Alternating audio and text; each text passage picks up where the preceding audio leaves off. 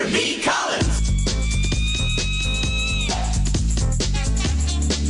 Peter B. Collins, news and comment. It's Wednesday, May 29th, 2019. St. Bob Mueller made a surprise appearance before the media today. No questions. There will be no further statements from the special counsel. And he confirmed that he conducted a limited hangout investigation, as I have been suggesting. It was a bizarre performance, unannounced, really, as of uh, well 2:30 Eastern Time, which is when I went to sleep last night. There was no indication that Bob Mueller was going to address anybody today. And then, as I woke up, I learned that at 11 a.m., he was going to go into an auditorium at the Justice Department and deliver a statement to reporters. Now, the only explanation I can offer is that Bill Barr, who is the personal attorney general to Mr. Trump, is in Alaska. and uh, there is an indication that the White House got notification late last night that Mueller was going to speak. And so the circumstances are weird because as recently as a couple of days ago, Jerry Nadler talked about how he was in negotiations, or at least discussions, with Mueller to appear before the House Judiciary Committee, but that Mueller was setting some pretty stiff conditions. That he'd give a statement in public and then he would answer questions behind closed doors. That apparently won't be happening because Mueller, who came out and essentially spoke in code, he unexonerated Trump. He affirmed the evidence free assertions, you know, that the Russian military intelligence people hacked the DNC and gave that material to WikiLeaks. The language he used is very carefully constructed. And in a moment, we'll go through the comments that Mueller delivered. But the bottom line here is that while he may feel that he offered the public some tea leaves that can be read, I think that he left the situation as confused as it was before he opened his mouth. So he said he is resigning from the Department of Justice to return to private, and he paused I think he was thinking private practice, but he said private life. He says, Let me begin where the order to the special counsel begins interference in the 2016 presidential election. Now, listen to this language carefully crafted. As alleged by the grand jury in an indictment. So he's not stating this as fact. It's an allegation. Russian intelligence officers who are part of the Russian military launched a concerted attack on our political system. The indictment alleges that they used sophisticated cyber techniques to hack into computers and networks used by the Clinton campaign. They stole private information and then released that information through fake online identities and through the organization WikiLeaks. Now, these are all assertions based on allegations from the grand jury. And I'll bet you $5 right here, right now, that we're not going to find any major news organization who parses this statement the way I'm doing right now and suggests to you that there is no evidence available to the public to support these assertions. And these are the same damn assertions that started in October of 2016 in the intelligence assessment, were repeated in January of 2017 in an intelligence assessment, and it's been treated as fact by the corporate media ever since. They're not curious, they're not skeptical, they don't need evidence because, hey, it's been repeatedly asserted. All right. Mueller continues. The releases were designed in time to interfere with our election and to damage a presidential candidate. They were designed. Did they achieve that goal? He's not saying. At the same time, as the grand jury alleged in a separate indictment, a private Russian entity engaged in a social media operation where Russian citizens posed as Americans in order to influence an election. These indictments contain allegations who are not commenting on the guilt or the innocence of any specific defendant. Every defendant is presumed innocent unless and until proven guilty. What?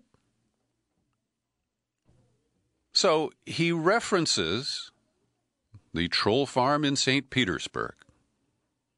And he would lead you to believe that they had direct influence and brainwashed American voters to elect Trump instead of Clinton.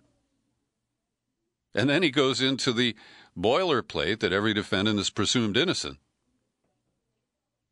But he uses his indictments as proof of the allegations. And that is circular logic that is accepted by far too many political leaders and media figures. Uh, quoting again from Mr. Mueller, the indictments allege and other activities in our report describe efforts to interfere in our political system. They needed to be investigated and understood. That is also a reason we investigated efforts to obstruct the investigation. The matters we investigated were of paramount importance. It was critical for us to open full and accurate information from uh, obtain full and accurate information from every person we question. Well, then why didn't you question Trump?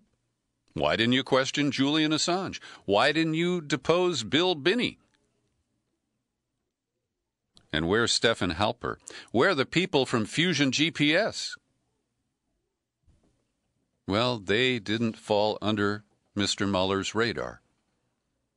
That is another basis for my claim that this is a limited hangout investigation. So he mostly focuses on the obstruction issues.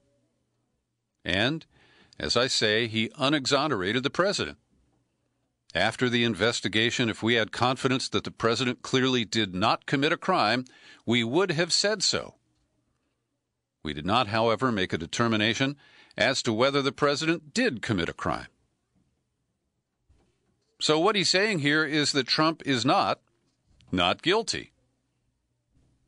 And he is providing if you interpret it the way, you know, if you can read his mind the way I think he wants us to read it, that he did not exonerate Trump and that that claim is bullshit. But by using this vague and indirect language, the double negatives, he leaves people more confused and it allows Trump to manipulate the language.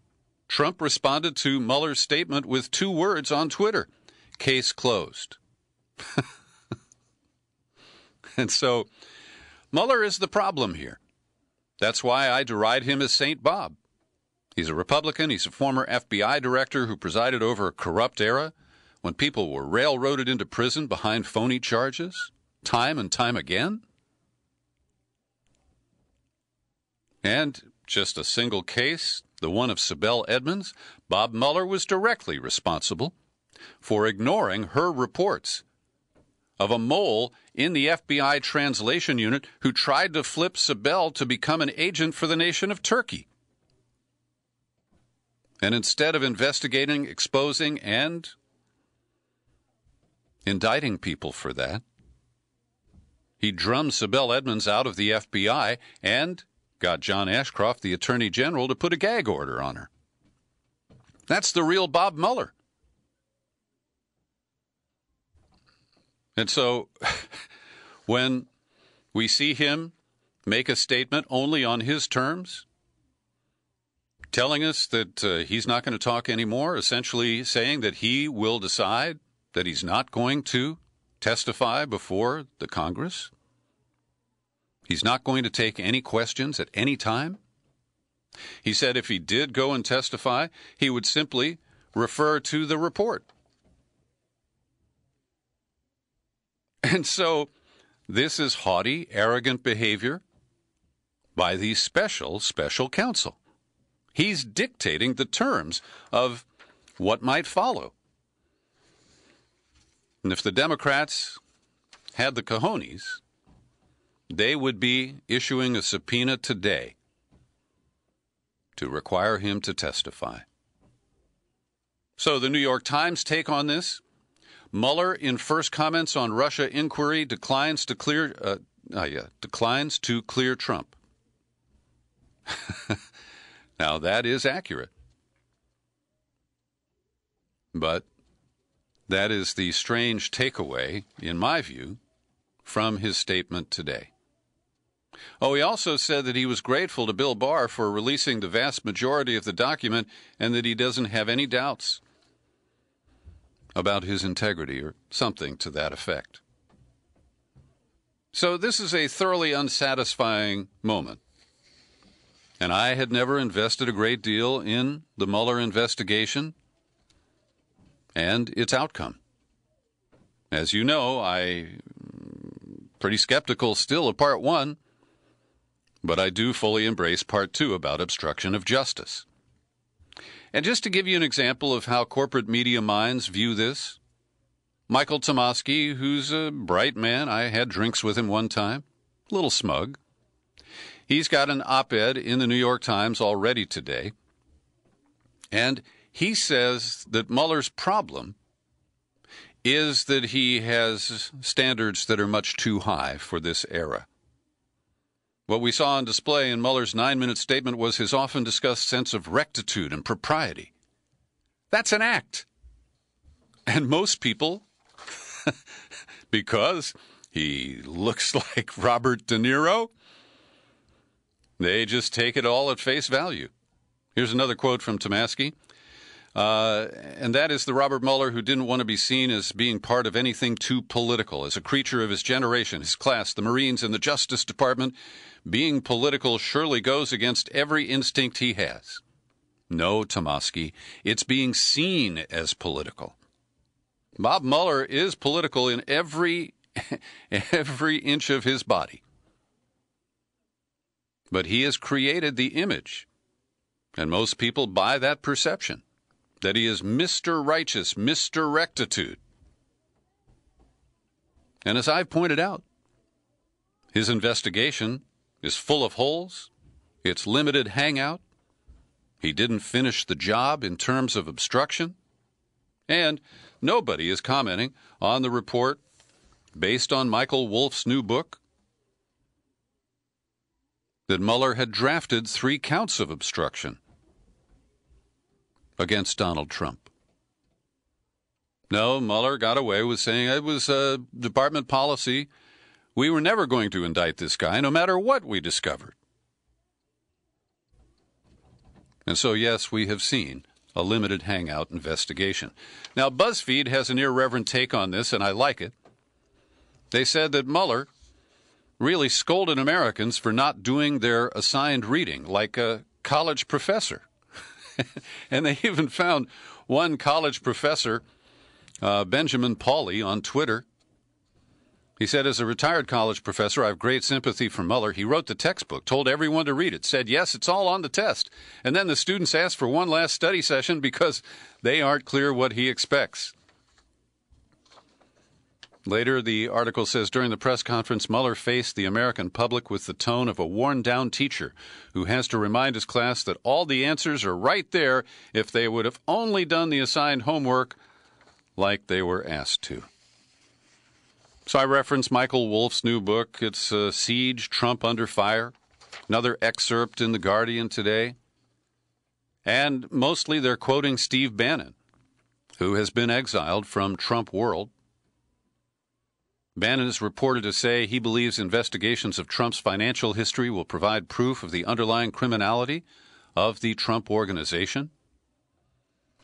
Wolff writes, Trump was vulnerable because for 40 years he had run what increasingly seemed to be uh, seemed to resemble a semi-criminal enterprise. And he quotes Bannon as saying, "I think we can drop the semi part." Wolff also quotes Bannon saying investigations into Trump's finances will cut adrift even his most ardent supporters. This is where it isn't a witch hunt. Even for the hardcore, this is where he turns into just a crooked business guy and one worth 50 million instead of 10 billion. Not the billionaire he said he was, just another scumbag. The fallout from this whole Russiagate hysteria is elegantly captured by my pal Yasha Levine. I've linked to his piece that's uh, published at Grayzone the last couple of days. And he writes about being a Soviet immigrant kid in America. He was brought to San Francisco as a child. And he said, with that background, I've been primed to see this country as a unique beacon of tolerance, a place where bigotry and racism, if they exist at all, are banished to the far edges of society. But as an adult, I came to understand just how much bigotry and systemic racism and exclusion are ingrained in the politics and culture of modern America. And he says that the impact of all of this negative reporting about Russia, the anti Russian hysteria, parallels the early 20th century, the Red Scare of the 1950s, and he says for nearly four years now, Soviet and Russian immigrants have watched America's liberal political elite shift the blame for their country's domestic political problems away from themselves and onto a fictitious, inscrutable foreign enemy, a xenophobic campaign that put people like us, the Russians, at the center of everything that's gone wrong in America. We've watched as this panic grew from a fear of the Russian government to an all encompassing irrational racist conspiracy theory that put a cloud over not just Russian nationals or Russian government officials, but anyone from the lands of the former Soviet Union. Very well put. I'll see if I can catch up with Yasha. Overdue to get a, another in depth interview from him. Want to reference an op ed published at The Guardian in the last couple of days by Zaid Jilani? And he is uh, parked over at UC Berkeley, just across the bay from me. And he writes in support of Nancy Pelosi's refusal to impeach Trump. And Mr. Jilani, you've got it wrong. He writes Although House Democrats are frustrated by Trump's attempt to block their subpoenas and investigations of his financial dealings across the world, they do not have a clear cut case of high crimes and misdemeanors that could set the stage for a successful impeachment. That is flat out wrong. The obstruction claims from Mueller are very strong. The guilty plea from Michael Cohen about the hush money paid to Stormy Daniels and the Playboy model, those are criminal acts, and Trump is an unindicted co conspirator. And Mueller wasn't willing to use that phrase the way the special prosecutor in Nixon's case did. So Jilani says it's important for Congress to never declare that impeachment is off the table, but what Pelosi's arguing right now is much more reasonable than 2006. She supports oversight and investigations into Trump and the president's financial dealings as a way to expose possible wrongdoing. And then he admits the president is uh, stonewalling some of these investigations. Then he concludes that the votes don't seem to be there for an impeachment. Quoting, opening an impeachment inquiry would start a process many Americans would see as an attempt to circumvent the 2020 election. That's not true. That is a Republican talking point. That's what Trump wants people to believe. And the guy who gets it right is this Freedom Caucus hard right congressman from Grand Rapids, Michigan, Justin Amash. And at the DeVos Auditorium at a high school in Grand Rapids yesterday, he a, held a town hall meeting. He got standing ovations. He got blistering questions from Trump supporters who hate him. But he stood his ground. He said those who've actually read the Mueller report will be appalled that Speaker Pelosi is trying to hold the majority rather than uphold the law. We can't let conduct like that go unchecked. Congress has a duty to keep the president in check, says Amash. And he's concerned that the country has reached the point where impeachment may never be used in any circumstance. Quote, that is a greater risk than the risk that it will be used too often. It is more dangerous for our country to allow a president to mislead people, make things up. And he talked about the effort by Trump to get his White House counsel, Don McGahn, to create a false record. Things like that to me reflect incredible dishonesty and really harm the office of the presidency. I don't think you can just let that stuff go. That's the Republican. Now, he's the only one. I acknowledge that. And I know that the votes aren't there now. But for the Democrats to believe that that is all baked into the Trump cake, I'm sorry. They are derelict in their duties. Every day I pause for a moment to thank the people who support my work and my ranting and raving here at the Peter B. Collins podcast with your subscriptions. Great people like Ford Green, who just renewed his annual, Marvin Rasmussen, Paul Karsh, Abby McMillan. They each kick in five, or in Abby's case, 20 bucks a month. You can do it too. Visit peterbcollins.com. Click on menu, click on become a subscriber. You'll hit the sign up page where you can make a choice of the level of support that's comfortable for you. Julian Assange is reportedly quite ill. So sick that he couldn't coherently converse with his attorney last Friday. And Caitlin Johnstone, the Australian writer, is calling on the media saying, How come nobody is reporting this? In fact, he has been moved to the hospital wing of the Belmarsh prison. And she cites a Swedish newspaper report and the World Socialist website as the only places that she has found a mention of this. And she writes, We have been watching the slow motion assassination of Julian Assange.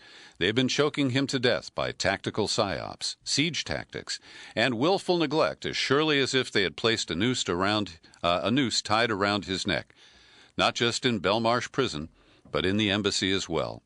The only difference between his execution and someone on death row is the same as the difference between covert and overt warfare, which makes sense because the intelligence, judicial, and military agencies who are carrying out his death sentence operate with the same power structure which carries out war.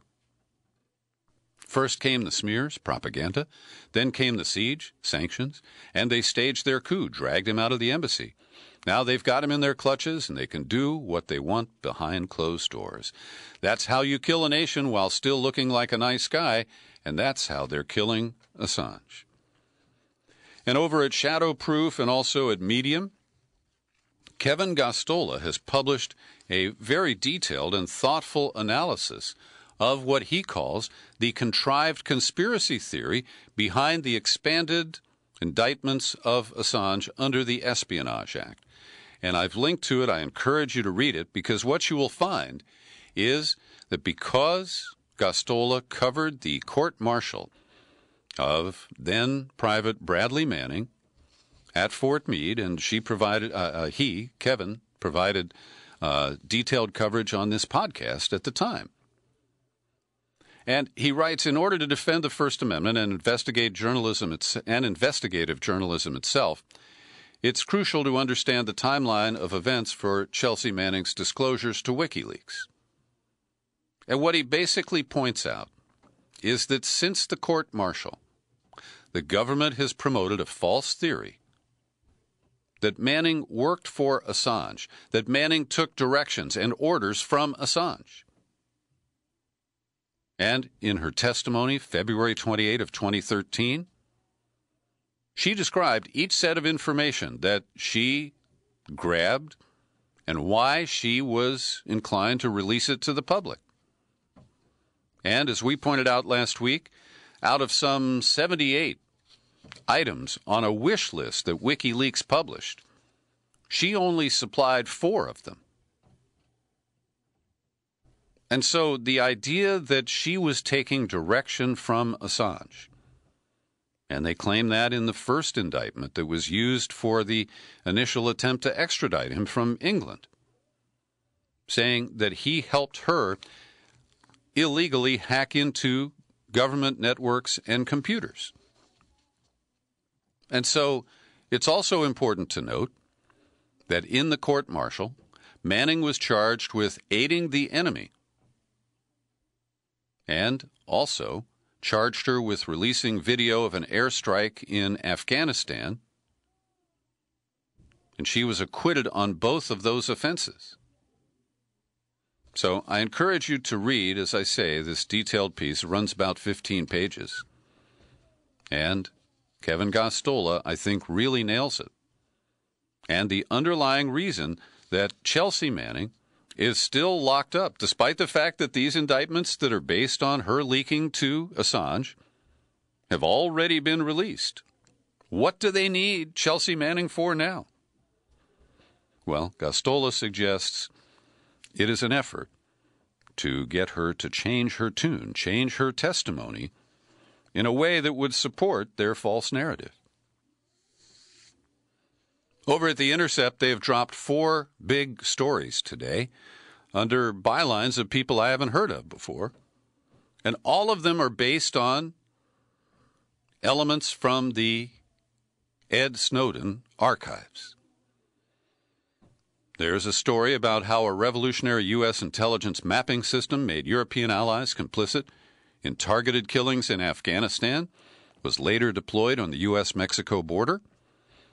They also disclosed that U.S. officials drew up a new intelligence sharing framework in response to pressure from Israeli spy bosses. That Norwegian intelligence knew about the sinking of the Russian Kursk submarine much sooner than officials have said and that a power outage took down the NSA's nerve center one day in the summer of 2006. Now, the signal that I get from the Intercept's drop of these four big stories is that you're not going to see anything else based on the Snowden archives. They're locking it up, and it will no longer be available to the public.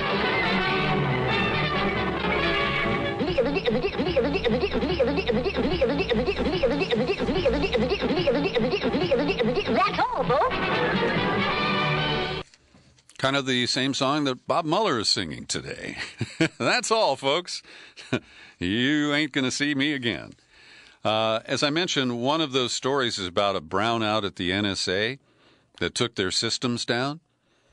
The other story, based on the NSA that's in the news these days, is that Baltimore and some smaller cities are struggling to recover from a hacking for ransom attack. Baltimore was hacked and ordered to pay $100,000 in Bitcoin to the uh, cyber criminals.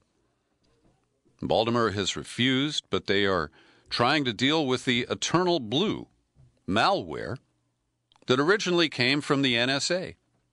And Eternal Blue relies on vulnerabilities in Microsoft software. And whistleblowers like Russ Tice and Bill Binney have told me repeatedly that the NSA knew about vulnerabilities in American networks and software and hardware, and they didn't notify the parties who could fix it or patch it because they wanted to continue to be able to transgress at will. So the NSA refused to notify Microsoft about how Eternal Blue found a flaw in their software for years, five years. And only after apparently the Baltimore attack on May 7th has this been acknowledged. And other than that, the NSA says, not my problem. Even though, what, they're just uh, 50 miles down the road at Fort Meade from Baltimore? The Democratic National Committee is announcing new criteria to try to thin the herd of the 23 or more candidates running for president. So, you know about the first two debates, one later this month and then again in July. But to be invited on the stage in September, the standards are being raised. You have to show 130,000 donors, including at least 400 from 20 different states, and you have to earn 2% in four party approved polls between late June and August. Now, I have a problem with the fundraising metrics because it becomes a pay to play game. But beyond that, I do understand that uh, you've got to come up with some way to limit the field and to allow voters to focus on who will become the likely nominee. And so, as we look at this, the rules are being changed. And one of the uh, anomalies here is that the debate stages for the June and July debates will be split according to a complex formula intended to allocate polling leaders and underdogs in similar proportions on each stage. This may mean that Bernie Sanders won't be on the same stage with Joe Biden, the putative front runner right now.